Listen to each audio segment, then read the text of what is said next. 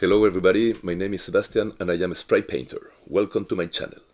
This time I'm going to show you a video of a painting that I did some time ago but I hadn't edited yet. It is a gloomy picture of a dark cathedral in the cosmic night with a large red nebula. I added a very dramatic soundtrack to accentuate its dark side. I hope you like it. Let's watch the video.